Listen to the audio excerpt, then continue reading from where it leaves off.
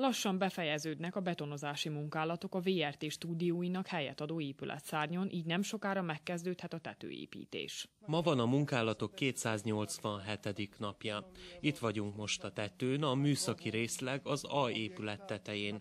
150 köbméter betont használtunk el, az utolsó födém 600 négyzetméteres. A munkálatok folytatódnak a tervek szerint jövő kedden az administratív részlegen, tehát a B-szárnyon is kiöntik az utolsó födémet. A liftaknák kialakítása, illetve a tetőszerkezet nem betonból álló része marad még hátra. Végre elmondhatjuk azt is, hogy megvan a munkálatok második szakaszának a kivitelezője is, ez továbbra is az SNP vállalat. A második szakasz a legösszetettebb, a belső berendezést foglalja magába.